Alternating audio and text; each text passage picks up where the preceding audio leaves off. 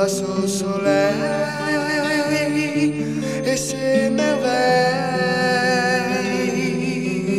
J'ai souvent pleuré l'oiseau de mes pensées, comme l'étoile qui brille au ciel, comme le vent